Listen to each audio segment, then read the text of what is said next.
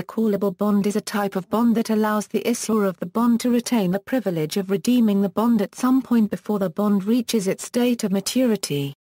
In other words, on the call date, S, the issuer has the right, but not the obligation, to buy back the bonds from the bondholders at a defined call price. Technically speaking, the bonds are not really bought and held by the issuer but are instead cancelled immediately. The call price will usually exceed the par or issue price.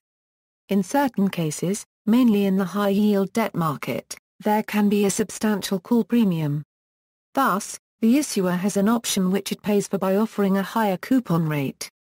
If interest rates in the market have gone down by the time of the call date, the issuer will be able to refinance its debt at a cheaper level and so will be incentivized to call the bonds it originally issued.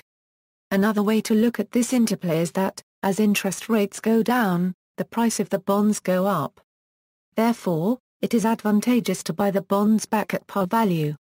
With a callable bond, investors have the benefit of a higher coupon than they would have had with a non-callable bond. On the other hand, if interest rates fall, the bonds will likely be called and they can only invest at the lower rate. This is comparable to selling an option a euro the option writer gets a premium upfront, but has a downside if the option is exercised. The largest market for callable bonds is that of issues from government-sponsored entities.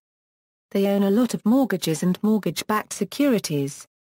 In the U.S., mortgages are usually fixed rate, and can be prepaid early without cost, in contrast to the norms in other countries. If rates go down, many homeowners will refinance at a lower rate. As a consequence, the agencies lose assets. By issuing a large number of callable bonds, they have a natural hedge, as they can then call their own issues and refinance at a lower rate. The price behavior of a callable bond is the opposite of that of puttable bond. Since call option and put option are not mutually exclusive, a bond may have both options embedded. Pricing, see also bond option, embedded options, for further detail.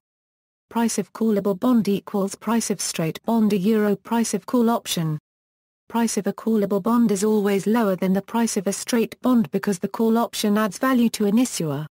Yield on a callable bond is higher than the yield on a straight bond. References.